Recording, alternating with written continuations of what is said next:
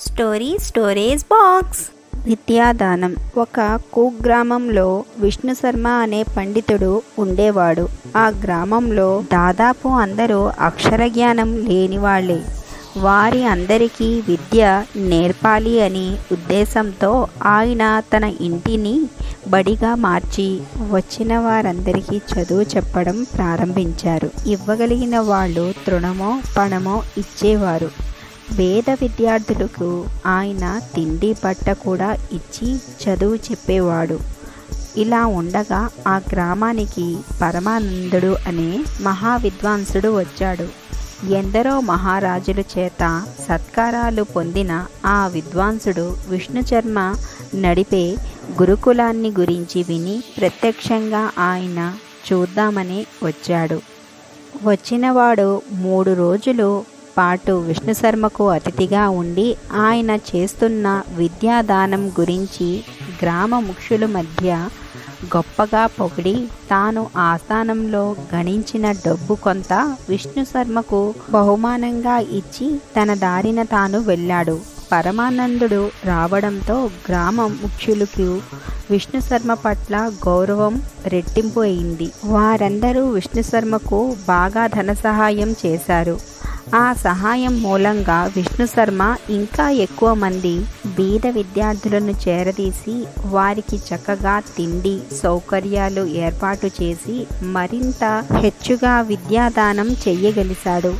ఆ బడికి చుట్టుపక్కల గ్రామం వాళ్ళు కూడా రాసాగారు. బడి మంచి ఉన్నత స్థితిలో ఉండగా విష్ణు శర్మ ఆకస్మిక మరణం పొందాడు. బడి నడిపే భారం విష్ణు శర్మ కొడుకు అయిన దేవశర్మ పైన పడింది. దేవశర్మ కూడా తండ్రి సమానమైన పాండిత్యం కలవాడే. గాని అతని బుద్ధి తండ్రి బుద్ధి లాంటిది కాదు. విష్ణు శర్మ బడి నడిపే పద్ధతి దేవశర్మకు నచ్చలేదు. విష్ణు శర్మకు పుష్కలంగా డబ్బు లభించింది. కానీ ఆయన దాన్ని తన కుటుంబం సుఖంగా జీవించడానికి వినియోగపరచలేదు విరాళాలన్నీ విద్యార్థుల మీదనే ఖర్చు చేశాడు. దేవశర్మ అలా చెయ్యదలచలేదు. తాను గురువు అవుతూనే కొన్ని నియమాలు పెట్టాడు. చదువుకునే ప్రతి విద్యార్థి తన శక్తికి తగినట్లుగా గురు దక్షిణ ఇవ్వాలి. ఎవరు తిండి బట్ట వాళ్ళే చూసుకోవాలని చెప్పాడు. ఈ నియమాలు అమలు కాగానే బీద విద్యార్థులు బడి మానుకున్నారు. వాళ్ళే అధిక సంఖ్యలో ఉండడం వల్ల వాళ్ళు మానగానే బడి తీసిపోయింది. దేవశర్మ ఎక్కువ డబ్బు తెచ్చిన వాళ్ళకి శ్రద్ధగా చదువు చెప్పడం తక్కువ తెచ్చిన వాళ్ళని అశ్రద్ధ చేయడం జరిగింది. పొరుగురులో విద్యార్థులు బడి మానుకున్నారు. అంతో ఇంతో గురుకట్నం ఇవ్వగల వాళ్ళు కూడా తమకు చదువు రావడం లేదని బడి మానేశారు. ఈ విధంగానే విష్ణు శర్మ చనిపోయి ఏడాది తిరగక ముందే ఆయన పెట్టిన బడి దాదాపు మూతపడిపోయింది. దేవశర్మ దగ్గర ఇద్దరు ముగ్గురు శిష్యులు మిగిలారు. బడికి విరాళాలు నిలిచిపోయాయి. అందరూ పోగా మిగిలిన శిష్యులు ఇచ్చుకునే గురుకట్నంతో దేవశర్మకు భుక్తి కూడా జరుగుబాటు కావడం లేదు.